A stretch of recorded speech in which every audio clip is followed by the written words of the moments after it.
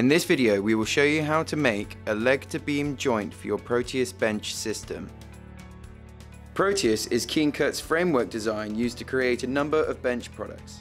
This system uses a combination of aluminium extruded vertical legs and horizontal beams with a unique joining bracket arrangement that creates a solid and stable structure.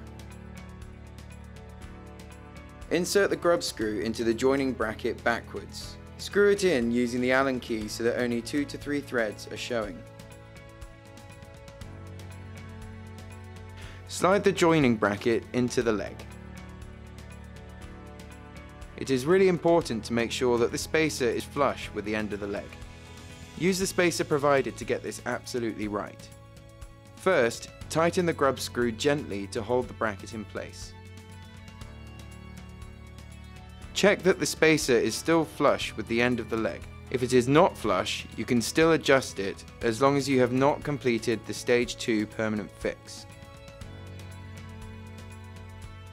Once you are happy with the position, turn the grub screw a further 2 to 3 half turns to create a deeper indentation.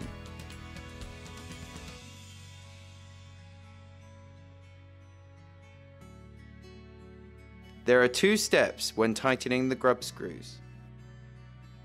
The first step is to create a small indentation to hold the bracket temporarily in position.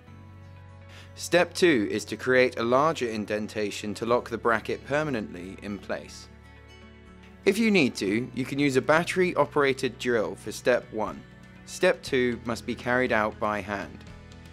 Insert two grub screws into each joining bracket from the side with the flat face. The tip of the grub screw should enter the hole first. Screw in the grub screws only 2 to 3 turns. Slide the beam into the joining bracket and make sure it is flush with the leg.